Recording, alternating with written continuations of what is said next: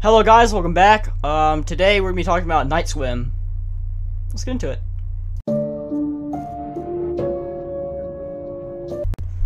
Okay guys, well today, um, as you see the title, we're gonna be talking about Night Swim, which is a horror movie about a evil pool. So, um, I saw the trailer for this and I was actually quite excited for it, believe it or not.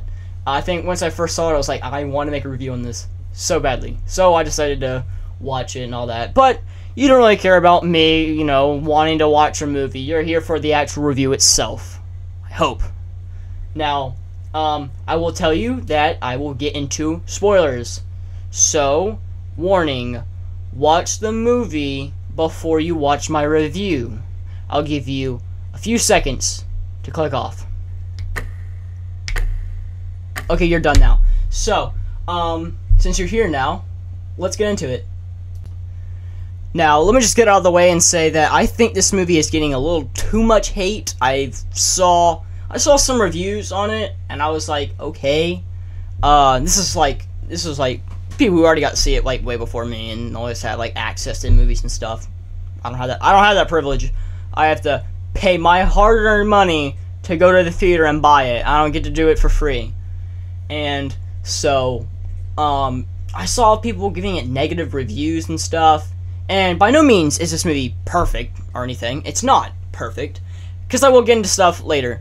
But I do think the criticism for this movie is a little too much hateful. I mean, it's not really hateful, but it's not a bad movie. It's a it's a mediocre movie. It's your average um, horror movie tropes and stuff. Um, I will say that I'm not someone who gets scared easily.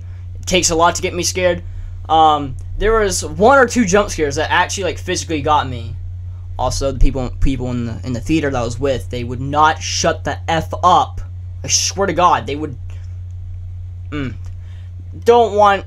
I'm here to talk positive about this movie, and I'm gonna end up talking and going on a big rant about the movie uh, experience because it was not very good. But besides all that are across, the movie was fun. I enjoyed the begin. The beginning hooked me immediately. The, the beginning was great. I love the beginning. The beginning was fantastic, in my opinion. And then we get introduced to, I believe, Jay. Wait, was his name Jay? I believe it was Jay. Well, when doing um, a little bit of research, I found out his name is not Jay, it is Ray. So you will hear me say Jay constantly, but just realize that, in fact, I am talking about Ray. His name is Ray. Now, Jack, we would love to see that. Wouldn't we love to see that? His name is Lee, goddammit. Lee, we would love to see that. and his family. Jay is a um, well, he, he's a baseball player, and I didn't I didn't think that they could make a movie about uh, baseball and an evil swimming pool in one movie, but somehow they did that. Sorry, I thought I heard something at my door. Ooh, spooky, am I right? Yeah, well, um, back to the review. Um, I did think that the family aspect was actually really good in my opinion. Uh, it's rare that I say that because most movies I absolutely hate the. What I mean, I hate the characters. I mean, I hate their dynamics. Like I was expecting this movie to have the father and the mother, and like you know they're always like bickering towards each other, and like you know I, I knew there was a daughter in this, and I thought she was gonna be like hating the father because that's like your stereotypical thing in movies where like either the daughter or father or not daughter either the daughter or son hates the father and then they're always caught into the middle of everything and it's it's like a big stereotypical thing. I like how this family is not dysfunctional in any way. It was actually a fresh uh, change that i thought uh, benefited uh, this movie a lot more and uh, elevated it in my opinion. I liked it. Um, i like i like the whole family aspect. I like uh, wyatt russell which you know if you obviously have seen you know my reviews on monarch then you will know that i speak very highly of wyatt russell i think that he needs more love and more attention in hollywood well not hollywood because hollywood right now is is on fire but he, he does need to get more into it though, because I think he did a fantastic job as a father in this movie. Um, and then back to inside the movie, uh, the family's just trying to, you know, get back into their house because the father, Jay, has like a disease that's like preventing him from doing things. You're such a disease. And then uh, they move out of this house and get into this new house.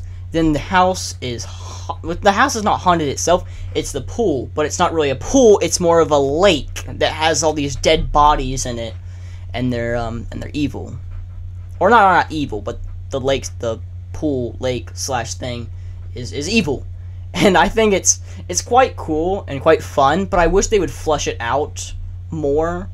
Uh, my biggest problems about this movie are really that it the ending is a little um dis uh hmm the ending I was wanting more out of um the ending just kind of kind of happened and there's a lot of unanswered questions like um let me just get through one real quick so uh covering up the the swimming pool at the end you know after spoilers again but you know I already said this the father dies, which really was kind of sad. When I, I knew it, like as soon as the movie began and he started like, you know, when he when he got he got his wish because he was you know sick, and then the thing is like a wishing well thing, except it's evil, and it takes your wish, but it kills somebody you love or whatever, um, and it does that, and then just Jay decides that he's going to sacrifice himself, and I was I knew it was going to happen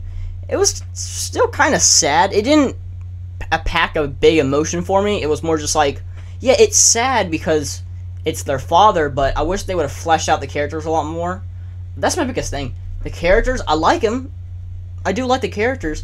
I just wish they were more fleshed out, and I think this could have benefited from a two hour or maybe a little bit longer of a movie. Uh, I think kind of just happened I can't describe the flow of this movie. I was not bored though. I'll give it this. I was not bored. I was entertained and I enjoyed it, besides the people who were sitting right next to me eating burritos and chicken wings and on their phone on Snapchat. Besides that, the movie was an interesting movie. I enjoyed it. It is a generic movie. I mean, it's nothing special if you're going uh, to see it for like movie of the year. It's not that. It's more just your low budget uh, Blumhouse movie, and that's all right. You know, that's all it needs to be. But I guess my biggest things are the ending, how it feels a little bit rushed with him becoming possessed and he's unpossessed and he's sacrificing himself for his son because his son was supposed to be uh, the sacrificed person when he got his wish because he has a disease. It's very, it's my opinion. I like that. I think it's cool.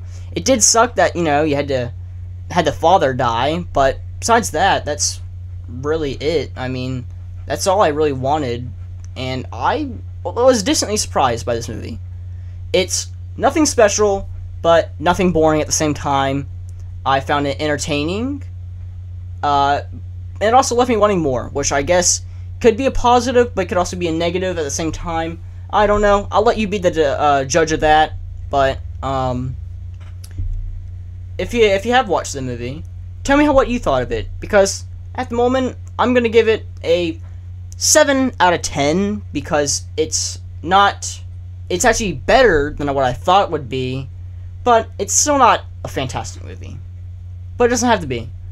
But I will leave you off on that video or on this video today. Um, guys, if you want to like, subscribe, comment if you want, share anything.